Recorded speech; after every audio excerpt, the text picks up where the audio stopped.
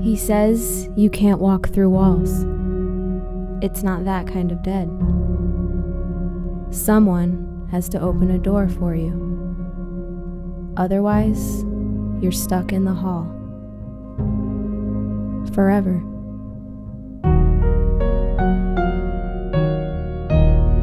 But that's just the half of it. I still need to choose life. It's not like being chosen for the lead in the school play. It's not like choosing between the boy I love or the boy who loves me. It's the biggest decision of my life. Do I want life?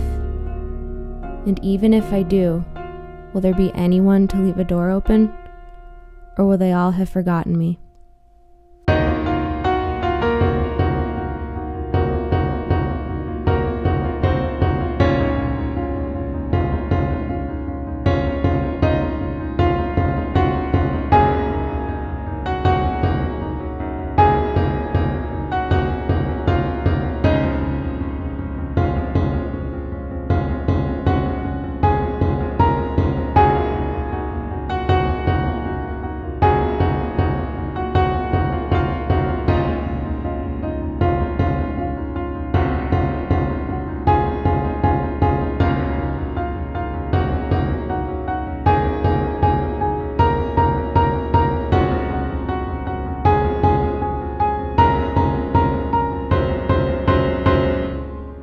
Don't forget me.